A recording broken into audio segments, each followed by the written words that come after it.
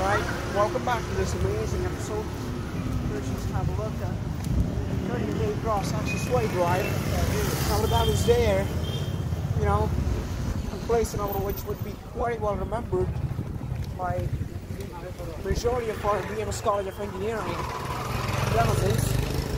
Friends, so there are in fact a lot of pedestrian pathways as a walk down.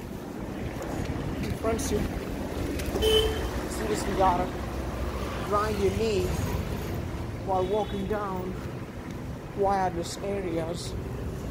Thanks because uh, already the night is bright.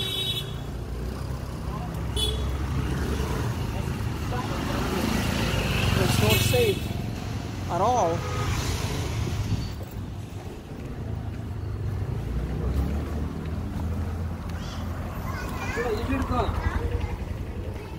It's not at all safe.